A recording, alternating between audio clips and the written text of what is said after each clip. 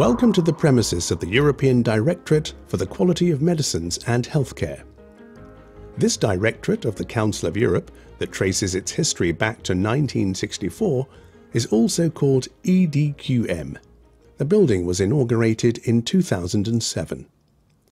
Designed by Brussels-based Art and Build architects and by Denu et Paradon Architectes in Strasbourg, and built to high environmental quality standards, the design and the materials used in its construction reflect the diversity of the activities taking place inside. Have a look at the rounded facade made of steel and glass that houses the laboratories and the reference standards preparation area.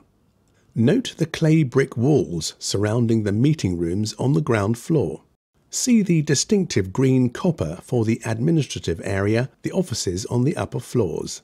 In this building, pharmacists, chemists, biologists, laboratory technicians, together with translators, IT specialists, statisticians, contribute to the EDQM's primary mission, the protection of public health through the development, implementation, and in a monitoring role, application of quality standards for medicines.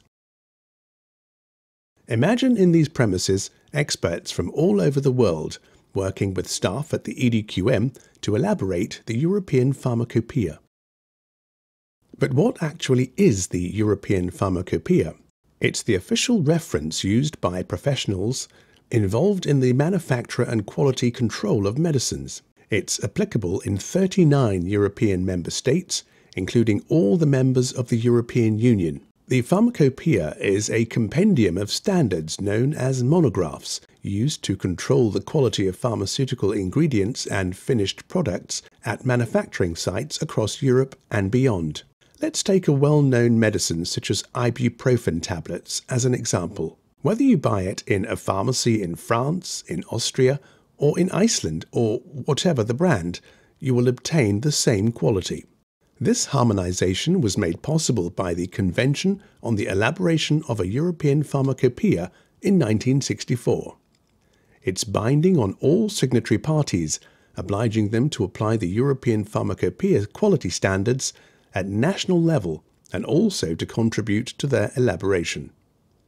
The EDQM distributes a catalogue of more than 3,000 reference standards worldwide to manufacturers of medicinal products and their ingredients and to the organizations involved in their quality control.